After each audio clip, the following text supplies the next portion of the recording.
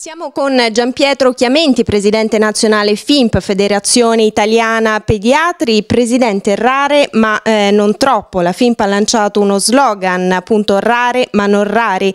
Il 20% delle malattie rare che in totale sono oltre 6.000 patologie colpisce i bambini e qui la diagnosi precoce è fondamentale. Cosa farete? Beh, prima di dire che cosa faremo, sottolineo l'aspetto che rare sono le malattie perché hanno un'incidenza di 5 su 10.000 però non sono rari i bambini affetti dalla sommatoria di tutte queste malattie che invece fanno numeri molto alti.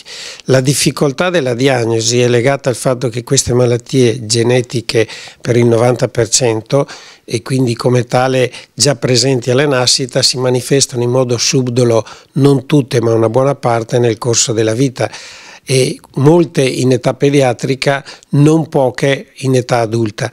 Arrivare alla diagnosi comporta spesso problemi perché non sono malattie che hanno quadri chiari, sono subdole, si manifestano progressivamente e quindi eh, diagnosticarle è già di per sé eh, una difficoltà notevole.